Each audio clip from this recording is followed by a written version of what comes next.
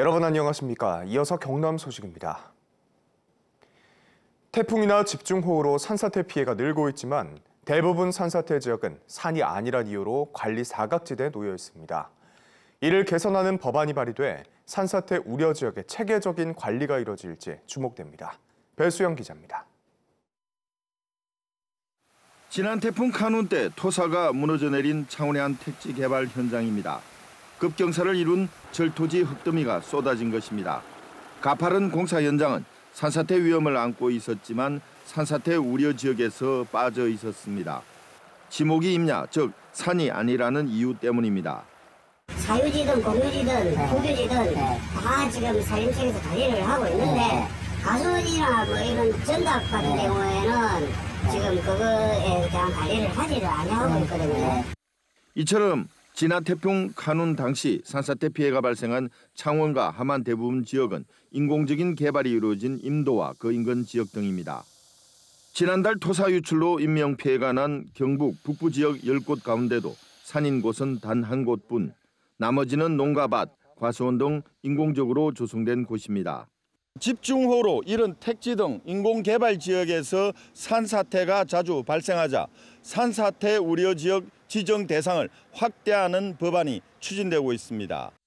국민의힘 이달곤 의원이 대표 발의한 법률 개정안은 기존 산사태 발생 우려 지역에 인공개발 경사면까지 포함하는 것이 주요 내용입니다.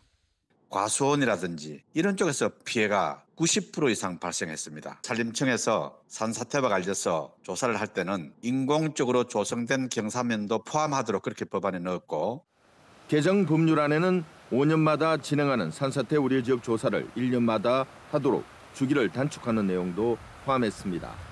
이를 통해 인공적으로 개간된 경사지도 통합 관리 체계가 마련될지 주목됩니다. KBS 뉴스 배수영입니다. 지역 주력 산업인 방위 산업의 경쟁력을 높이는 데 힘을 보태 경남 방위산업발전협의회가 출범합니다.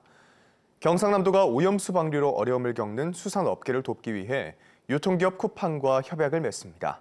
이번 주 경남 황재락 기자입니다. 내일 오후 경상남도 방위산업 발전협의회가 공식 출범합니다. 경남 방위산업 육성과 경쟁력 강화에 자문 역할을 하는 경남 방위산업 발전협의회는 산학연 전문가 등 19명이 참석합니다. 협의회는 방산 핵심 부품 국산화율을 높일 방산 부품연구원 설립 유치와 지난달 구성된 방산 수출 지원단 운영 등에도 힘을 보탤 예정입니다. 오염수 방류로 어려움에 빠진 수산업계를 돕기 위해 경상남도가 모레 대형 온라인 유통기업인 쿠팡과 수산물 소비 활성화 협약을 체결합니다. 이번 협약으로 두 기관은 경남 수산물의 안전성 홍보와 판매처 확대를 위해 공동 사업을 추진합니다. 또 경남 수산물 온라인 특판정과 할인 행사도 진행할 계획입니다. 창원시가 무량판 구조로 지은 아파트 단지에 대한 안전점검을 진행합니다. 점검 대상은 무량판 구조로 지은 14개 아파트로 현재 공사 중인 두 곳도 포함됐습니다.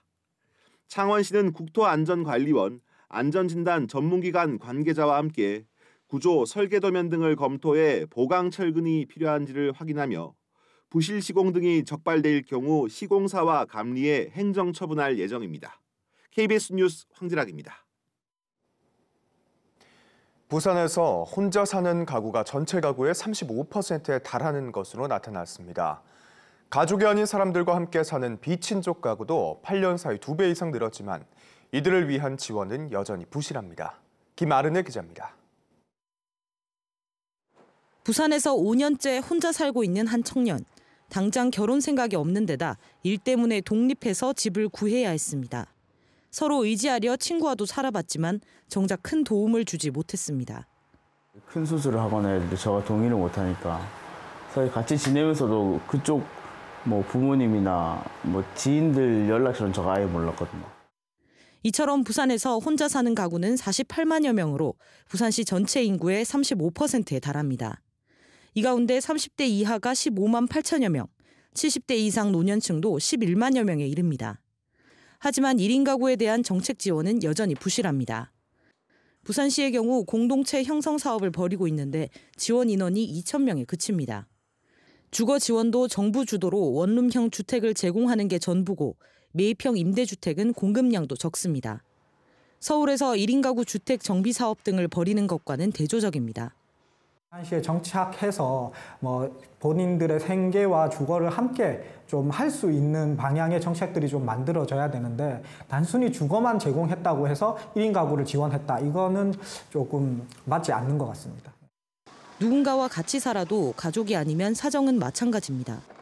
친족이 아닌 사람과 사는 이른바 비친족 가구.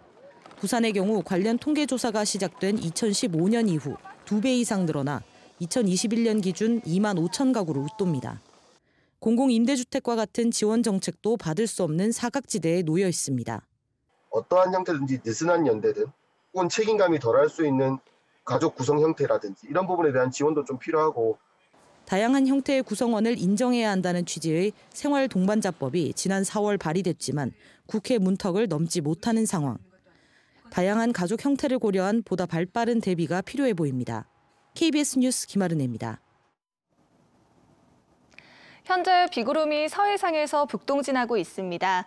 이 비구름의 영향으로 당분간 우리 지역에도 비 소식이 있겠는데요.